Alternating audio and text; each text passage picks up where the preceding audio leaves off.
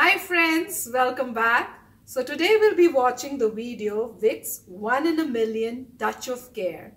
And yes friends, this reminds me that when we were young and we used to get sick, I don't know about you, but I remember my dad and my mom putting Vicks on my nose and chest whenever we had cough and cold. And oh my God, that sensation of Vicks was horrible and the stickiness, but it would definitely give a, a lot of relief. And uh, you remember when Rishi was young, I specially asked my parents to bring Vicks uh, because I didn't realize that Vicks is also available here in uh, US. And uh, when he would get sick, when he was young, uh, we used to also do the same thing, put the Vicks on his chest and his nose. And he also hated it, but it did used to help. So this brings back memories of our using Vicks. So friends, let's go ahead and watch this. But yes, if you are watching us for the first time, make sure to hit the subscribe button and click the bell icon to get notified of all the new videos as soon as we upload them. And after watching this video, if you like it, then click the like button and share this video with your friends and family. So, okay friends, let's look at this ad of Vicks. And I'm sure some there were some really good ads of Vicks also when we used to, you know, be young on Doordarshan, if I remember.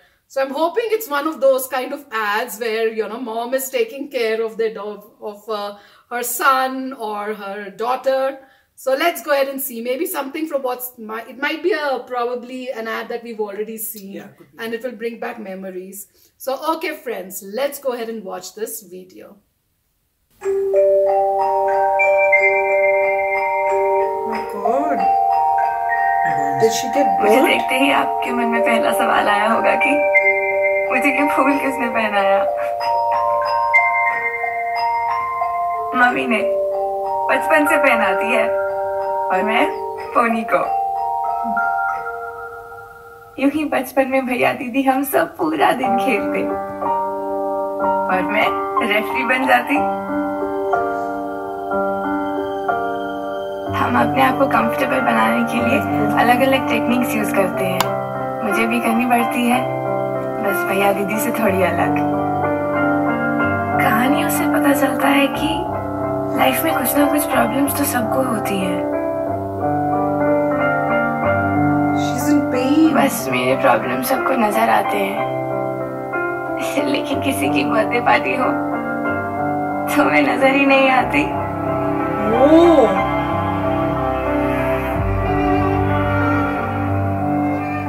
Skin condition का नाम एक्सियोसिस है. ये infectious नहीं, पैदाइशी है। इसका कोई इलाज नहीं। कुछ लोगों के नज़रिए की तरह, ये दस लाख लोगों में एक को होता है। पर लाखों में एक तो मेरी मम्मी है।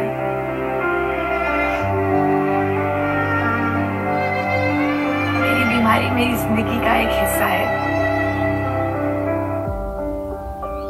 मेरी पहचान नहीं। क्योंकि मेरी कहानी में वो सब कुछ है जो बाकी कहानियों में होता है। कुछ होप्स कुछ ड्रीम्स कुछ कोशिशें।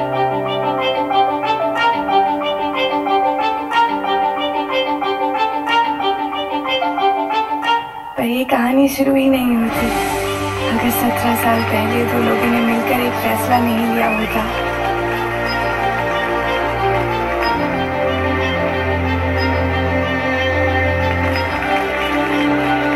मुझे अडॉप्ट करने का फैसला. और ये फैसला हमने कोई चैरिटी करने के लिए नहीं लिया था। लिया था तो बस खुशी के लिए, प्यार के लिए। आज आप वही फैसला लेने वाले हैं, जो उन्होंने सत्रह साल पहले लिया था। इसी ऑर्फनेज में।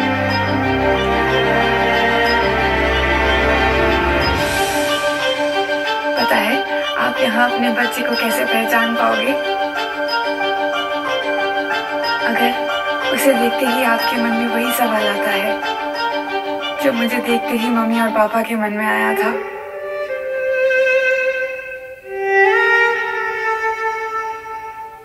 क्या ये हमारी नहीं बन सकती?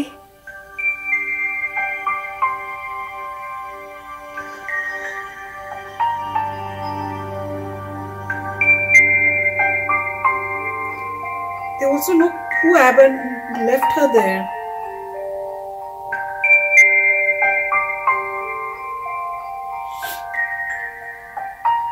Oh my god.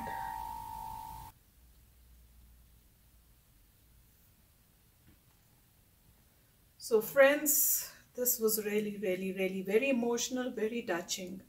And I had no clue. I thought it would be something that some ad that probably we have watched when we were young, and they used to be really sweet and loving ads. I mean, I'm not saying this is not loving ad. This is love, love without any, I would say, self selfless love. No selfishness in it. And I mean, the ending was beautiful that they actually adopted. Look at the depth of this love.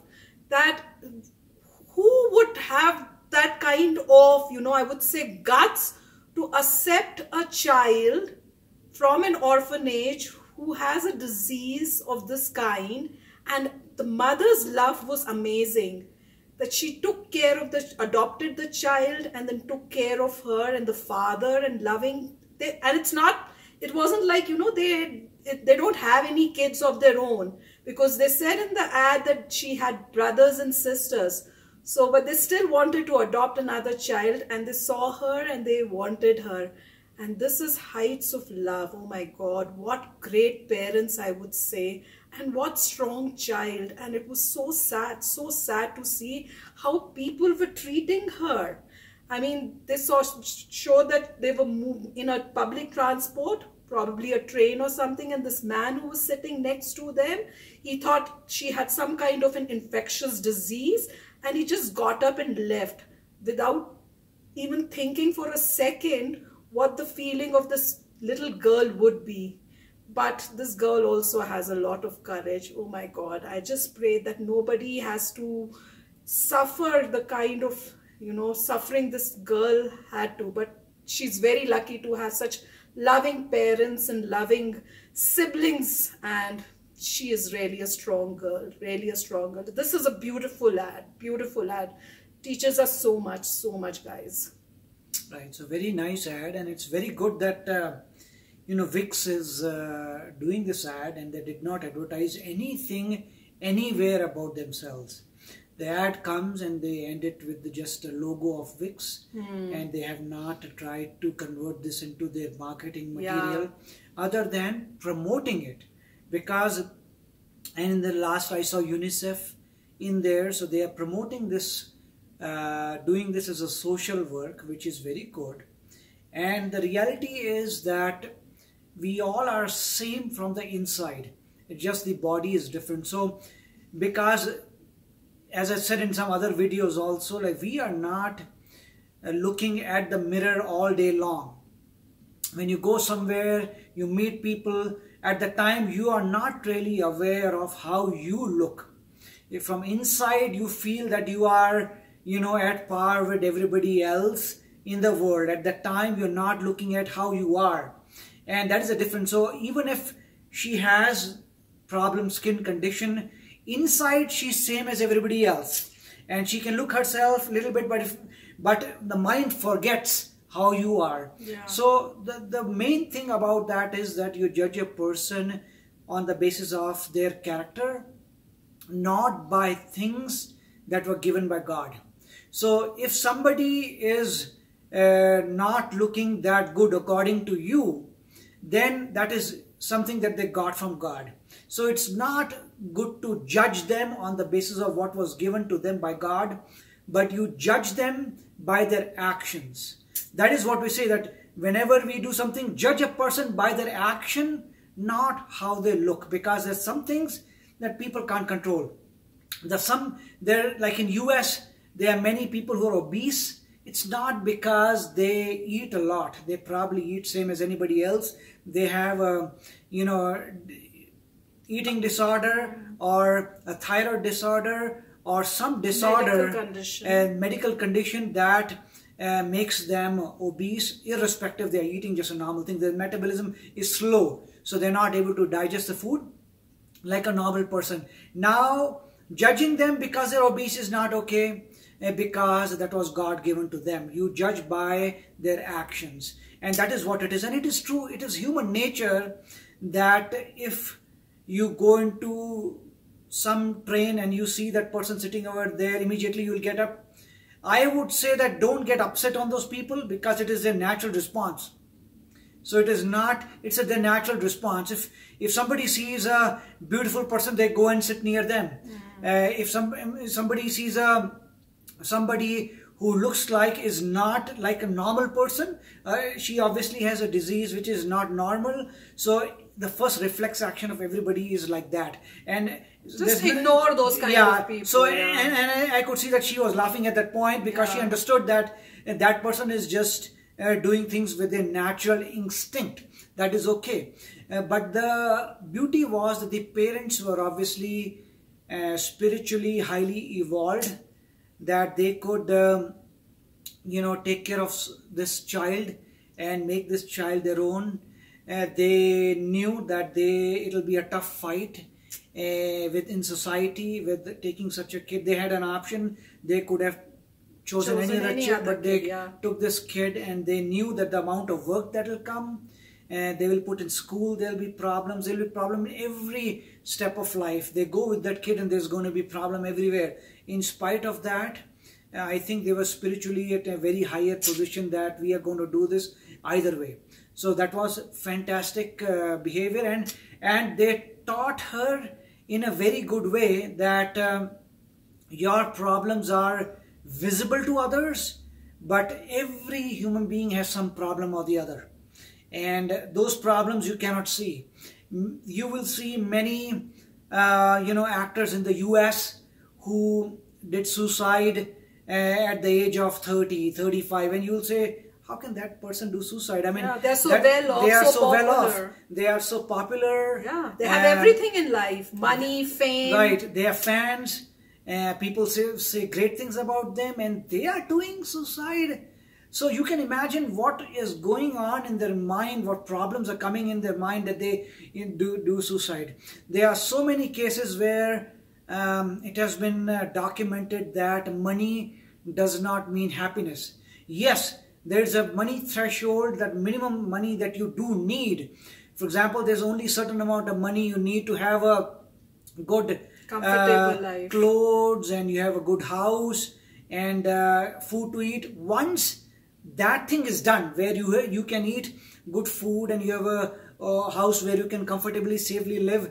Beyond that money does not make much dent in your life. There are thousands of people who have more money than you thousands of people less money than you. At the time once you have crossed the threshold it doesn't matter much uh, whether you have money or not. And, and that's the reason they say that at the time what is important is your uh, good karma if you do good deeds that is going to give you happiness. If you donate that's going to give you happiness. And i have given some examples of uh, you know some people who i see they are really good like uh, warren buffett who is probably the third richest person in the world who is going to donate 99% of his wealth. Bill gates is going to donate 99% uh, Facebook's Mark Zuckerberg is going to donate. So there are many people at that point who have realized by being some of the richest people in the world that eventually they will die. uh, And this all will be left behind. This all is useless. And th- these people were never running behind money to begin with. They were just passionate about the things that they wanted to do, and they happened to get rich doing that. And you would see that even uh, Jeff Bezos, um, who's the richest person in the world, or maybe number two now. You know, they keep flipping between uh, Bill Gates and Jeff Bezos, and even he said that, yeah, Amazon is pretty big and we are great, but a time can come when we can go bankrupt within a little bit of time. So he himself says that I know that I'm the richest guy, but I know my company and the way business can change, we can be nobody in some time. So let's not uh, look at the money. Uh, he wanted to build a great website and he's happy that he's built a great website that is helping a lot of people and that's all it is. And doing so, if he became rich, so be it, but that was not his goal. So coming back to this thing, obviously these parents uh, were very high in their morals and they have done that and um, it is uh, very good to i mean see the way they have taught her about that everybody has a problem yours are just different than others. And and you will see many times even on the ted talks right? The ted talks are there. They will get uh, these people to do ted talks. And uh, there was somebody who uh, does not have any hands or legs. And that person also gave a ted talk or somebody who have rare diseases.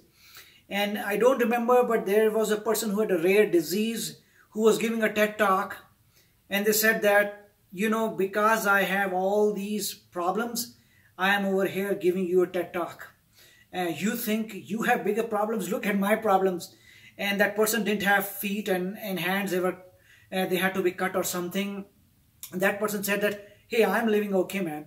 I don't have any feet. I don't I don't have any hands and you are thinking about your problems so there are everybody has their own notion based on what they experience in life but either way i would say this is a great uh, video that teaches us that uh, there are many people in life who have bigger problems Than us. just just get over your problems and try to do as much good as you can for others Yes, friends, this was a really, really, really, really a beautiful, beautiful video and teaches you so much. If you go ahead and think deep inside, you'll find there are so many teachings that it is teaching us.